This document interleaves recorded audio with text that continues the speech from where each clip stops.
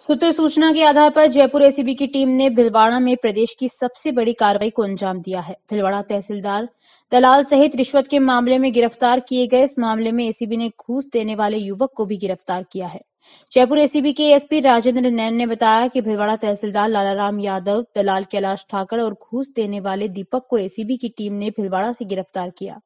ACB की team ने भिलवाड़ा में एक साथ चार स्थानों पर छापेमारी की थी, जिसमें तहसीलदार यादव का कमला विहार स्थित घर, दलाल कैलाश ठाकर के बिजोलिया स्थित मकान और रिश्वत देने वाले दीपक के गांधीनगर स्थित आवास पर दबिश दी गई।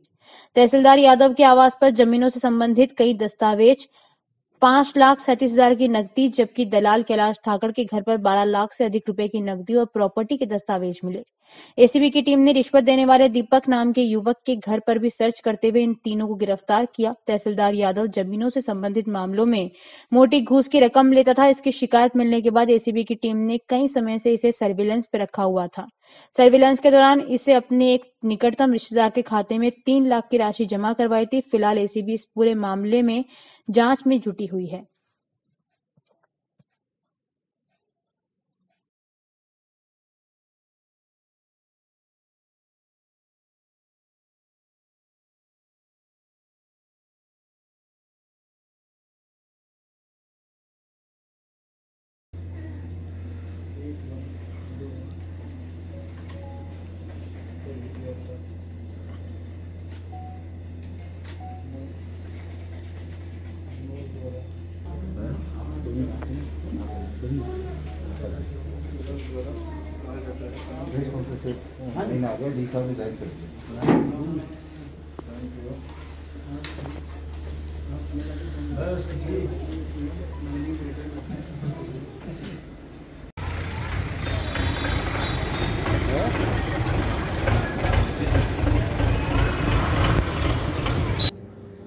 एसीबी की मुख्यालय टीम ने एक सूत्र सूचना के आधार पर आज चार जगह पर तलाशी का अभियान चलाया है।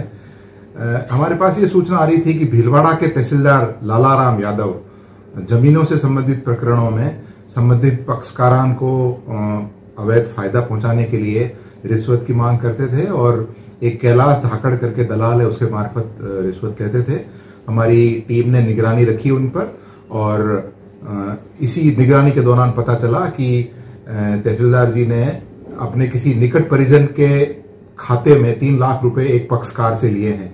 इस सूचना को और डेवलप करते हुए और हमने सो कुछ सूत्र एकत्रित किए और उसके आधार पर कल हमने एक प्रिवेंशन ऑफ़ करप्शन एक्ट का मुकदमा दर्ज किया है। आज चार जगह पर तलाशी हुई है। लालाराम तहसीलदार के घर पे पाँच लाख सैंतीस हज़ार रुपए कैश बरामद हुए हैं। कुछ दस्तावेज़ मिले हैं और कैलाश धाकड़ जो दलाल के रूप में काम करते हैं बिजोलिया में रहते हुए उनके पास 12 लाख से अधिक कैश और कुछ कागज़ और कुछ दस्तावेज़ मिले हैं।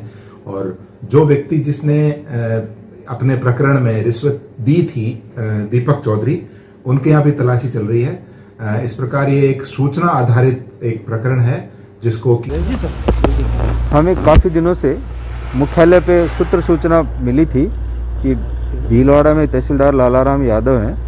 वो ज़मीनों के मामले में खुद भी और अफसरों से भी कई फैसले करा रहे हैं और दलालों के मार्फत पैसे का लेन देन हो रहा है।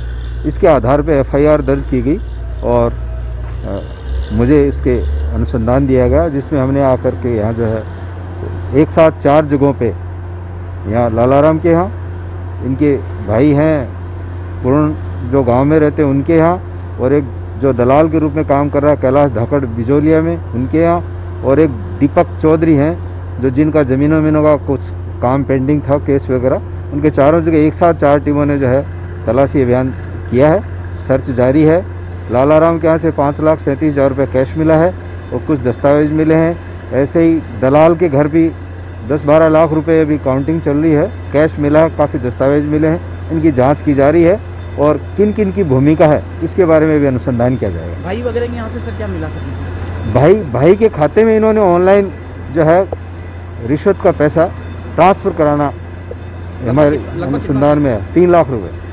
और एक और जगह जो आप बता रहे हैं सर तीन तो हुई एक चार चौथी और बता रहे हैं सर आप। नहीं दीपक चौधरी बता जी। जिनका ज़मीन का मामला कोई केस का भी फैसला कराया है इन्होंने और और भी कोई केसेज उनके ज़मीनों में के कई पेंडिंग है। चारों जगह अभी चल रही कार्रवाई। चार चार जगह एक साथ चार टीमें एक साथ कार्रवाई कर रही हैं।